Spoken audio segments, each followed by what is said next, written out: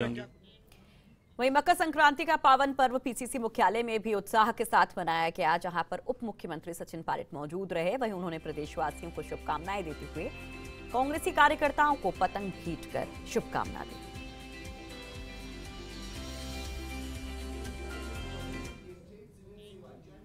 तो मकर संक्रांति के मौके पर डिप्टी सीएम सचिन पायलट ने आज राजधानी में अपने निवास पर पत्रकारों को लंच दिया, जिसमें कई पत्रकारों ने शिरकत की और लंच के बाद मीडिया से रूबरू होते हुए डिप्टी सीएम पायलट ने कहा कि कांग्रेस लोकसभा चुनाव में भी जीत दर्ज करेगी।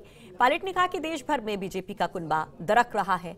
यूपी में महागठबंधन पर उन्होंने कहा कि कांग्रेस यूपी में अकेले लड़कर अच्छा प्रदर्शन करेगी।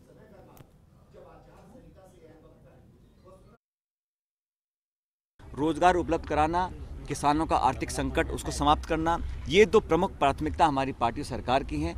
तीनों राज्यों में जिस प्रकार से अब सरकार बनी है कांग्रेस की तो ये आने वाले लोकसभा के चुनावों का भी प्रतीक है। और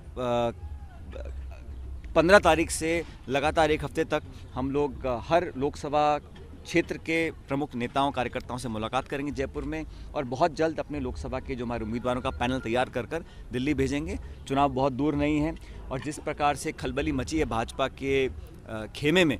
वो साफ़ दिखता है कि आने वाला चुनाव बीजेपी हारने जा रही है। लगातार